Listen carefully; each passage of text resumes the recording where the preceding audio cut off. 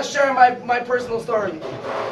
So four years ago, I didn't look anything like this. I looked more like this. Whatever. Cool. Huh? anyway. Maybe we can put you up on stage next to you with the Exactly. Anyways. He's trying to make his. I grew up in California in a very traditional Jewish family. Our Judaism was so special that we went to shul twice a year on Rosh Hashanah and Yom Kippur. And uh, on Yom Kippur we try to fast and things like that. And on Hanukkah we ate latkes. But uh, Judaism wasn't so interesting to me. I wasn't so involved, I wasn't so interested. On the other hand, Baruch Hashem, I was blessed with a lot of atzlacha. Academically, my school had 5,000 students, and I was top 50 academically in my, in my public high school. And I was very successful in tests and AP classes and all these various things, as well as I, I was very involved in sports. From the time I was 14, I got very serious about tennis. I used to play tennis, and when I was 16 years old, I won the Los Angeles City Championships. I became the best tennis player in Los Angeles. This is the uh, picture from when I won the uh, LA City Championships. So, and uh, and because of that, because of that came a lot of very special things. I got scholarships from colleges, for example, UCLA and other colleges. I mentioned UCLA because that's the top tennis college. And everything was going very well. But my parents were very worried that I wasn't so involved in Yiddishkeit and I didn't like Yiddishkeit. So they sent me to a summer camp. They sent me to a summer camp called C-Teen. They sent me to this camp thinking that I would just at least start liking Judaism. They didn't realize what they're getting into. But uh, they sent me to a camp that I should start liking Judaism. And I went on C-Teen and it changed my life. And I just want to explain why very quickly. One reason is because before that, I didn't think Judaism was possible for me. I didn't think Judaism was something you connect to. I didn't know Hebrew. I didn't know Aleph Beis. I didn't know anything. When I came to C-Teen, they taught me what Judaism is really about, that you can pray in English, and Hashem likes when you pray in English, and it's special, and every Yid is special, and every Yid is a shliach, like Elda, everyone's chazing here, every Yid is a shliach, everyone's important. This is one thing that I never felt before. I never felt that I was I did something that mattered.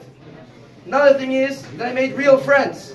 Before I had friends because of tennis and because you're popular and because of this and that. On C-Teen I didn't tell anybody anything. I made real friendships. Friendships that last until this day. And I want to say, I want to bring up, I want to say one story that C-Teen absolutely changed my life. When I first came home and started becoming religious, I didn't know much. I knew you can't use your phone on Shabbat. I knew you can, were a yarmulke and tzitz and tefillin. But my parents were not so happy with me. You can imagine, I come, my Yais Adessa, I'm saying my parents come from, not from uh, Odessa Mama, or whatever. They come from, they come from uh, a Russian house. I come from a Russian household. When a child becomes religious, it's like bad almost. And my parents were upset. And even more than that, my grandparents, my grandparents were even more upset. So much so that my grandfather told me he never wants to speak to me for the rest of my life. And for me, as a 16-year-old, to hear that, that my grandfather never wants to speak to me, is painful.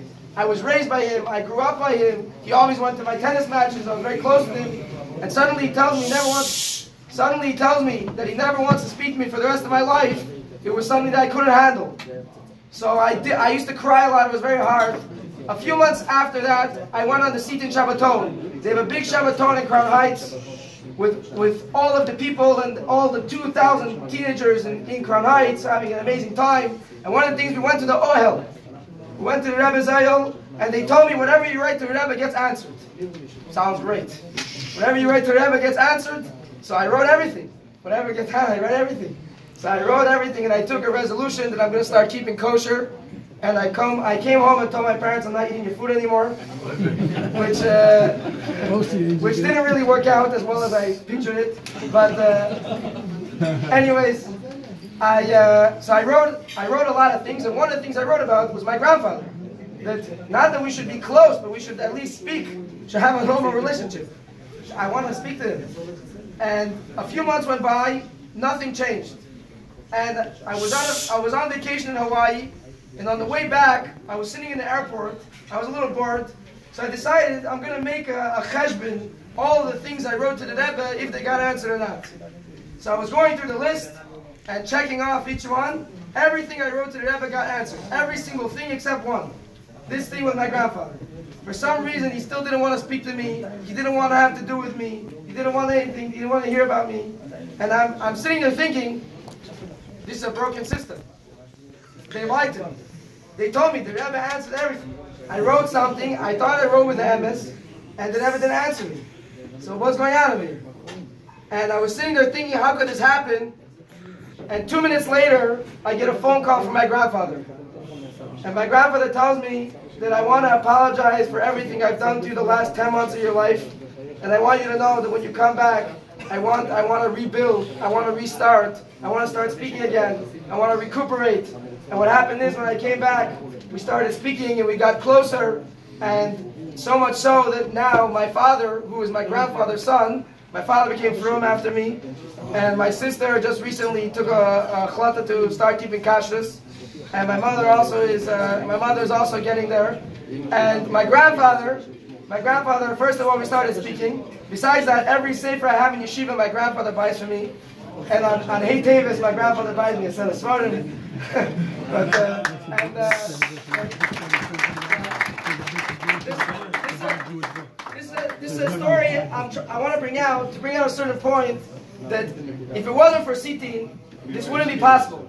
If it wasn't for C-Teen, the Shabbaton, and the C-Teen Shluchim, who care so much about every team, because they realize this Nikuda, that a Shliach is here to bring people Chassidus, to bring people Emes, to bring to bring Emes Havaya Le'elam to the people. They, a Shliach realizes this. And this is what affected me so much that it literally changed my life and the entire life of my family. And because they lifted up one neshama, they lifted up thousands of more neshamas. So L'chaim, we should- What's your number? Huh? Tens of thousands. Tens of thousands of neshamas. hundreds of them. Hundreds of thousands. Millions. Billions of neshamas. Right.